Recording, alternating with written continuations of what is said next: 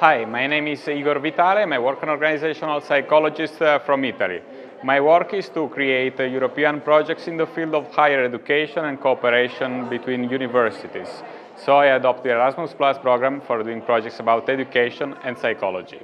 My topic has been to present the research about uh, Erasmus Plus projects. We are active in uh, working in uh, promoting pro-environmental behaviors and attitudes, so we presented many European projects.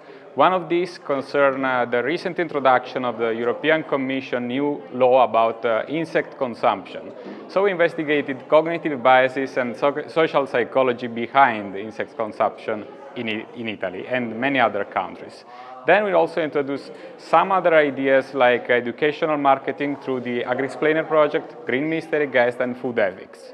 Uh, people can bring many things from here because essentially the European uh, uh, projects are dealt in order to uh, make research and education. So many programs are uh, present like the capacity building in higher education and uh, ways to cooperate internationally.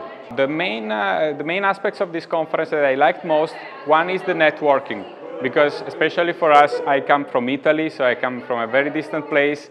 It's a great chance to meet other experts, uh, professors, researchers from many other countries. We met people from Japan, Philippines, Taiwan, Thailand, and the US. Uh, another is, of course, the variety of topics. So the conference is very rich. You can see many different topics and you can really find connections with experts from other countries. So we found very interesting topics concerning psychology, education, but also, for example, tourism, well-being tourism.